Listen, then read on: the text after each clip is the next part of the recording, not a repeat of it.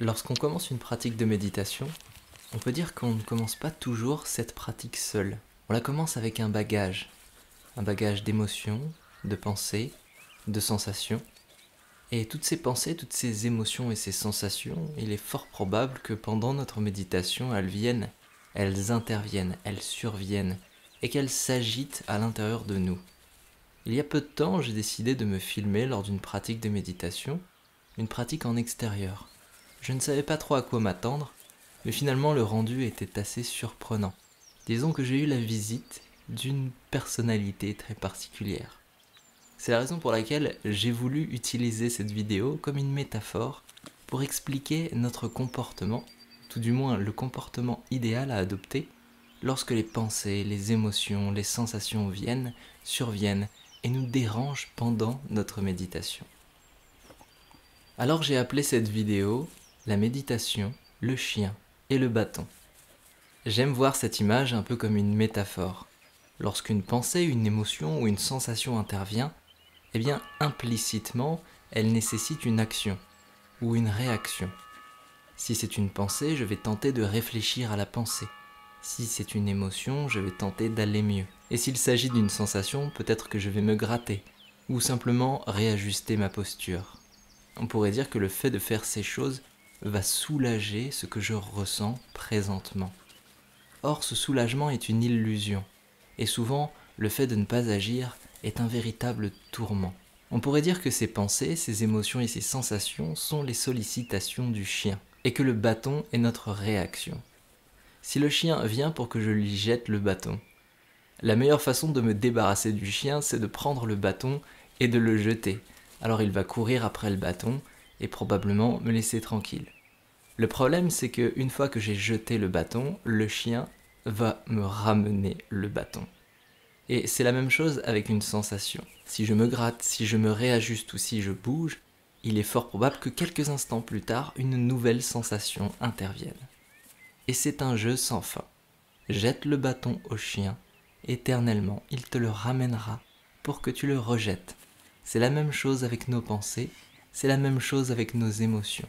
Alors lorsque tu médites et que viennent ces sollicitations ou ces sursollicitations, eh bien tu peux t'amuser pour commencer à tenter de réajuster, de bouger, tout simplement de jeter le bâton au chien.